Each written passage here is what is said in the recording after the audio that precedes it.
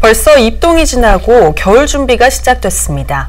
이웃과 정을 나누는 김장 행사가 열렸는데요. 재능대학교 학생들이 SK 인천석유화학과 함께 김장 나눔 행사를 진행했다고 합니다. 현장을 배상민 기자가 다녀왔습니다. 부쩍 쌀쌀해진 늦가을 오후 학교에서 김장 담그기가 한창입니다. 절인 배추 사이에 양념을 고루 버무리면 먹음직스러운 김치가 만들어집니다.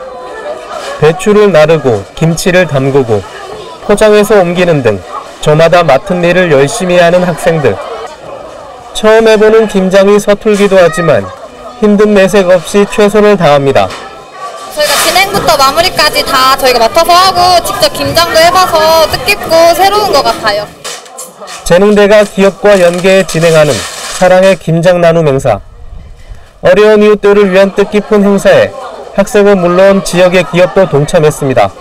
아, 저희 SK 인천 석유학에서 2010년부터 재능대학교 사회복지학과 친구들이랑 이렇게 7, 8년 정도 재미있는 이렇게 협업을 하여 사회복지 활동을 하고 있는 중이고요. 아주 재미있고 보람된 활동인 것 같습니다. 차곡차곡 쌓인 김치 상자에서 이웃을 위한 온장의 손길이 느껴집니다. 기업과 학교가 상생할 수 있는 모델링을 저희가 좀 마련하고자 하고요.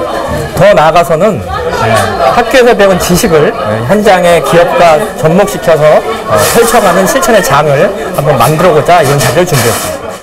이번에 담근 김치 830kg은 지역의 장애인 시설 두 곳에 전달됐습니다. 티브로드 뉴스 배상민입니다.